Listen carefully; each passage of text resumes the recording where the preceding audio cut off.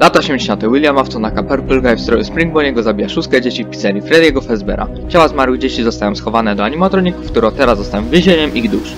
Rok 1987. Zabawkowe animatroniki The Bite of AB7, czyli odgryzienie pracownikowi pizzerii płotu czołowego przez prawdopodobnie Tojcika. William wraca do opuszczonej pizzerii, w której kiedyś zabił dzieci. Niszczy roboty, przy czym uwalnia dusze zabitych dzieci, które zaganiają go tu pułapki, gdzie Afton zakłada kostium Springboniego. Lecz uszkodzony kostium miażdży go i zabija, po czym jego dusza trafia do kostiumu. William zostaje tam na 30 lat.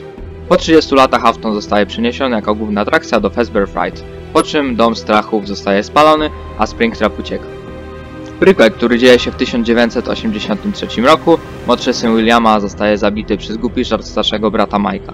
Więcej informacji o rodzinie Aftonów.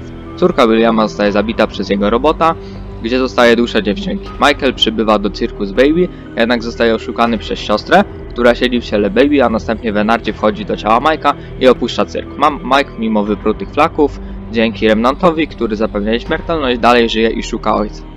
Mike z Henrym, czyli ojcem zabitej przez Williama córki Elizabeth, bawią do pizzerii wszystkie ofiary Aftona i samego zabójcy, spalając wszystkich. William znowu oszukał śmierć, poprzez zgranie swojej świadomości do cyfrowej postaci w grze. Pierze mózg Vanessie, czyli beta-testerce, która miała z nim styczność w samej grze.